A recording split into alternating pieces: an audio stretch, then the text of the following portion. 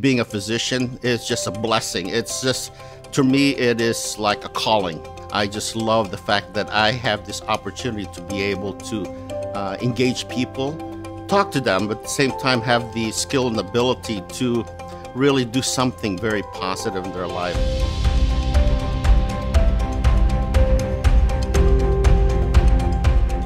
The thing that propelled me to being a doctor and that inspired me are my parents. Both parents are physicians.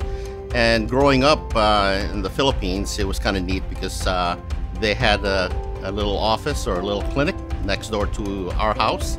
I've been doing uh, GI now for the last 30 years, and so I'm now in the stage of my professional practice that I'm pretty comfortable with my ability and skill, but at the same time, I at 30 years, I'm really, I truly enjoy what I do.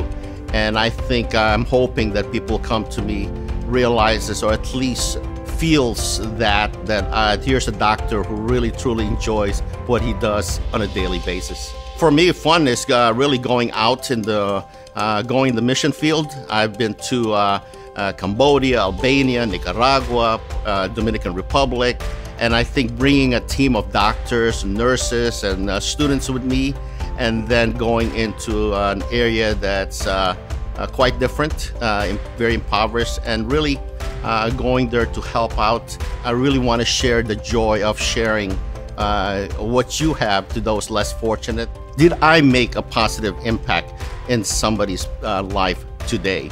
And what can I do to make more positive impact tomorrow? I have that ability to to do that and that ripple effect is sometimes amazing.